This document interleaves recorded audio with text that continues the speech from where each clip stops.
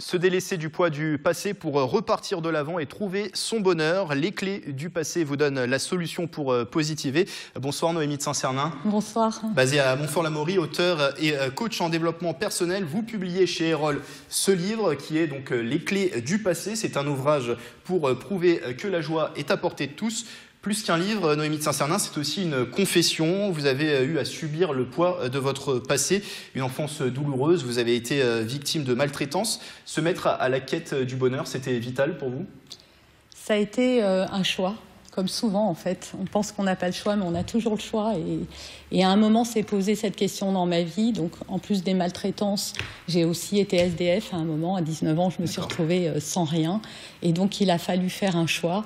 Le choix euh, de la souffrance, le choix du désespoir, ou de regarder un petit peu, de tourner son regard vers la lumière et de se dire finalement, et si c'était possible?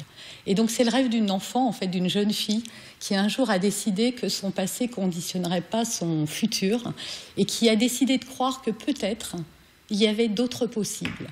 Et donc, euh, ça ne s'est pas fait en claquant des doigts, bien évidemment. Il m'a fallu plusieurs années de, recherche, d'observation beaucoup, de lecture énormément. Et donc, en autodidacte, j'ai étudié la psychologie, le, euh, la philosophie et même la spiritualité. Mais surtout, euh, au-delà des livres, j'ai vraiment observé et j'ai vraiment mis en pratique dans ma vie des choses pour essayer d'en sortir. Toute cette expérience, vous l'avez utilisée donc pour venir euh, aussi en aide aux autres, un accompagnement que vous apportez maintenant depuis une, quinzaine d'années à des couples, des parents, des adultes ou encore euh, des euh, enfants. Pourquoi ça a été important pour vous de, transmettre cette expérience?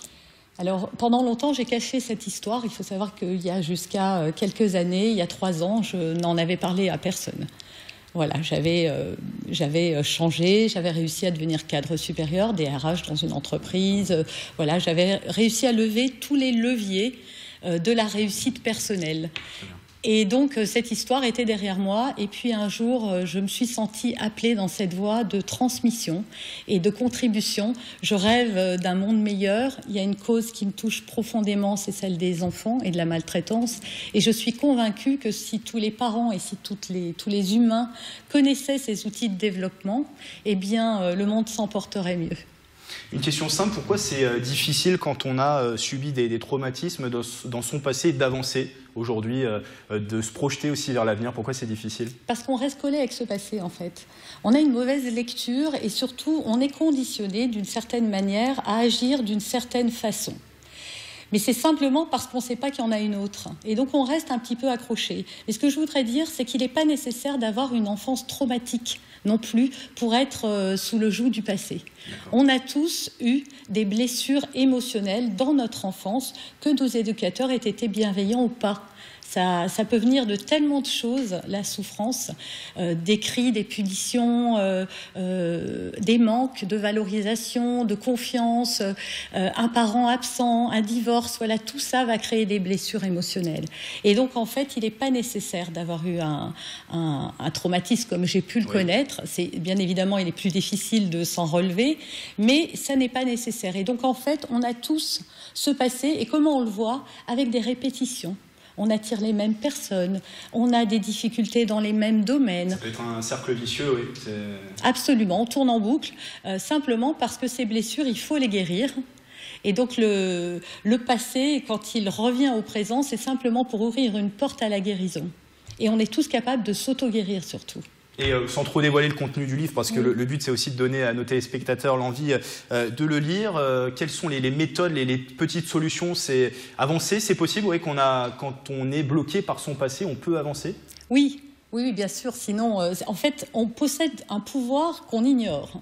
Alors bien évidemment, ça ne se fait pas en claquant des doigts, mais on peut, on peut aborder les choses autrement. Et d'ailleurs, j'ai voulu dans ce livre euh, déjà mettre une première partie où je raconte mon histoire pour montrer que si moi j'y suis arrivée, alors c'est que tout le monde peut véritablement le faire, voilà.